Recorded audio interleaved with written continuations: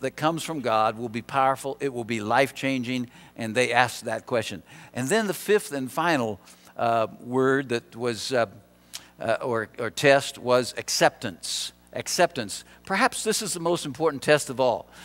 Did churches receive this letter as God's word? And letters were passed around from church to church in those days. They didn't have copies of the Bibles in the pews.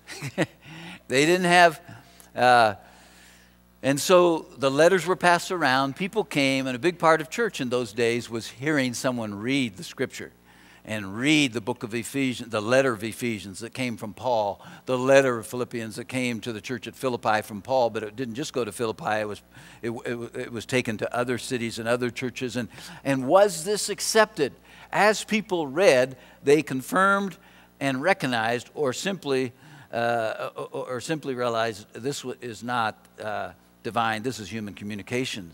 And uh, and so the question is are, are churches unanimous in their perception? And I want you to see this verse that the Apostle Paul wrote to the church at Thessalonica. We find it in 1 Thessalonians 2:13. For this reason we also constantly thank God that when you received the word of God, which you heard from us, you accepted it, not as the word of men, but for what it really is, the word of God, which also performs its work in you who believe. I want you to take your pen and I want you to underline these words. What it really is, the Word of God.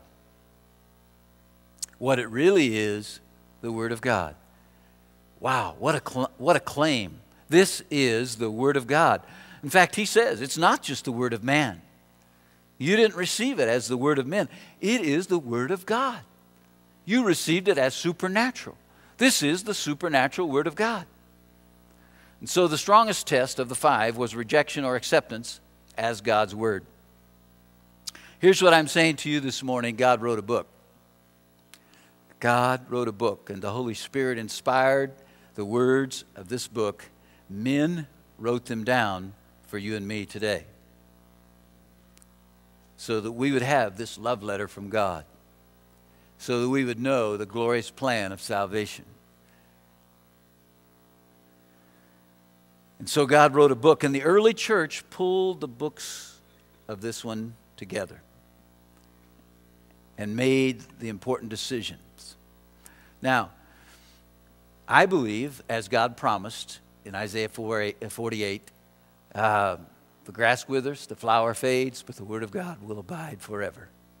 And so God directed the church, and God has put his hand on it and preserved it for us. Wow. That's why Jesus said, Man will not live by bread alone, but by every word that proceeds out of the mouth of God. If God wrote a book, think about this. If God wrote a book, if what I am saying is true, if God wrote a book, if God wrote a love letter to you, then what should your response be? I'm going to read to you a diary of a Bible. Suppose the Bible could talk. January 15th. This is a talking Bible here. Been resting for a week. A few nights after the first of the year, my owner opened to me, but no more. Another New Year's resolution gone wrong. February 3rd, owner picked me up and rushed off to Sunday school. February 23rd, cleaning day, dusted and put back in my place. April 2nd, busy day. Owner had to present the lesson at a church society meeting. Quickly looked up a lot of references. May 5th, Grandma's in town, back in her lap, a very comfortable place. May 9th, she let a tear fall on John 14. May 10th, Grandma's gone, back in my old place again. May 20, baby born. They wrote his name on one of my pages. July 1, packed in a suitcase, off for a vacation. July 20, still in the suitcase, almost everything else taken out. July 25th, home again, quite a journey, though I didn't see why I went. August 16th, dusted again and put in a prominent place the, min- the minister is to be here for dinner. You didn't get that, did you? August 20, owner wrote grandma's death in the family record. He left his extra pair of glasses between my pages. December 31st, owner just found his glasses. Wonder if he will make any resolution about me for the new year. The diary of a Bible. Wow that's a sad commentary, isn't it? We learned last week from Arnie Cole, who's a scientist and a researcher, that it takes a minimum of four days a week to change your life of being in this book. Being in this book four days a week will transform your life, it will change your life. It is recorded in Genesis chapter 3 that the enemy of our souls came to Eve and said this Has God said? Has God said? You can almost hear the hiss of Satan when you read those words, can't you? Has God said? He's putting a question in her mind about God's Word.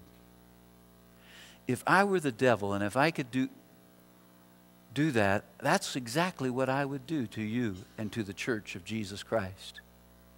Because if Jesus Christ and his church has no reliable truth, no reliable authority, then where are we at?